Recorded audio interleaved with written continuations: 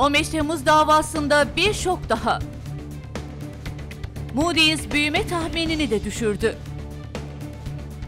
Oğluna müebbet verilen annenin feryadı. Günün haberleri başlıyor. Amerika Dışişleri Bakanlığı inanç özgürlüğü raporu yayınlandı. 200 ülke ve bölge ilişkin değerlendirmelerde bulunulan raporda 22 sayfa yer ayrılan Türkiye ile ilgili bölümde devam etmekte olan olağanüstü hal uygulaması hatırlatılıyor ve 15 Temmuz 2016'daki darbe girişiminden bu yana devam eden operasyonlara dikkat çekiliyor.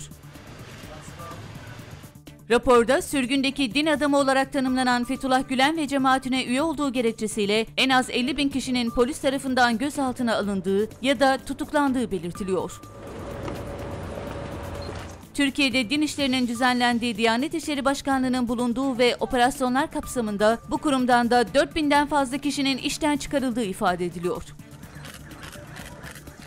Raporda devletin Alevileri Müslümanlığa aykırı bir kesim olarak görmeye ve cemevlerini ibadet yeri olarak kabul etmemeye devam ettiği ifade edilirken, benzer şekilde Türkiye'deki azınlık inanç gruplarının kendi ibadet merkezlerini açmak ve din adamlarını yetiştirebilmek gibi konularda sıkıntılar yaşamayı sürdürdükleri, bazı televizyon dizilerinde de özellikle Yahudilerle ilgili kışkırtıcı nitelikte yayınlar yapıldığı vurgulanıyor.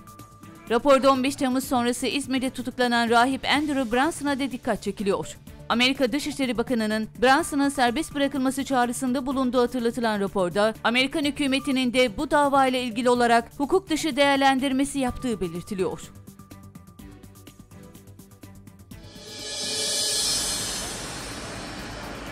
Hava Harp Okulu öğrencisi olan oğlu müebbet hapis cezasına çarptırılan bir anne, öğrencileri olayların içerisine attılar. Olayın aydınlanmasına yönelik bütün taleplerimiz reddedildi diyerek feryat etti.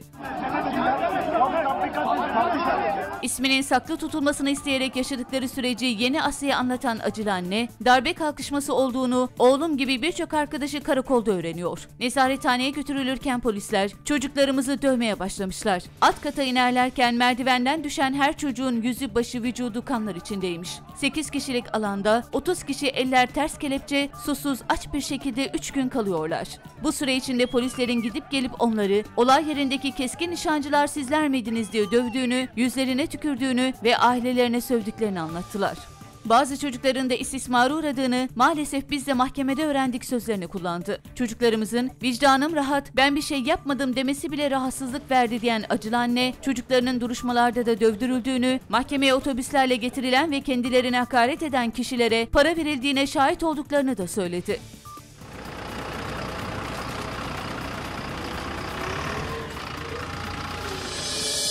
Nasuhi Güngör, Erdoğan'ın yakın arkadaşı. Eski TRT Haber Dairesi Başkanı Nasuhi Güngör, CHP'nin Cumhurbaşkanı adayı Muharrem İnce'nin gündeme getirdiği kendi kitabındaki ifadeleri yalanladı. Fethullah Gülen'le de bir araya geldi. İnce, AKP Genel Başkanı ve Cumhurbaşkanı Erdoğan'ın partiyi kurmadan önce Fethullah Gülen'i ziyaret ettiği iddiasını Güngör'ün kitabına dayandırmıştı. Erdoğan Gülen görüşmesi Kitabının yaklaşık 20 yıl önce yayınlandığını, o dönem AKP'nin kuruluş sürecine dair iddiaların yer aldığını belirten bir açıklama yapan Güngör, bizzat kendi yazdığım bu iddiaların kamuoyuna bilgi ya da belge gibi sunulacak hiçbir yanı yok. Ne gazeteciliğim ne de bugüne kadar yaptığım herhangi bir görev bu kitaptaki söz konusu iddiaları doğru kılmaz sözlerini kullandı. 2012'de bir tweet atmış. Ne diyor? Bunların hepsi olacak. Endişe etmeyin. Yenilikçi Hareket kitabında ve geçmişte yazdığım her şeyin arkasındayım. Ya böyle adamlar, bu adam TRT Genel Haber Dairesi Başkanı oluyor ya. Bu TRT'nin ne hale düştüğünün, bu yani bu adamın neyine inanacaksın şimdi? Kitaba yazmışsın. Buraya tweet atmışsın. Arkasındayım diye. Bugün yalanlıyorsun. Ya senin gibi bir adamı getirmiş TRT'nin haber müdürü yapıyorlar ya. Yazık günah.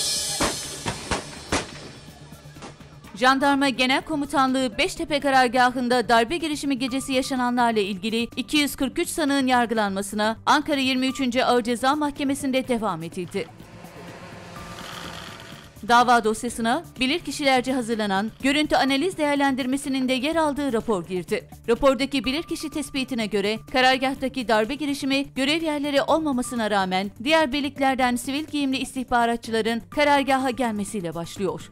Cephanelikten silah ve mühimmat aldıktan sonra görev paylaşım yapan darbeci askerler olası polis direnişine karşı nöbet kulübelerine takviye yapıp nizamiye kapılarına destek kuvvet gönderiyor. İlerleyen saatlerde yine çok sayıda sivil darbe girişimine karşı durmak için karargah önünde toplanıyor ve bu kişilere nizamiyeden ateş açılıyor. İktidara yakın medya, karargaha gelen sivil giyimli istihbaratçıların sözde sivil imamlar olduğunu öne sürmüştü.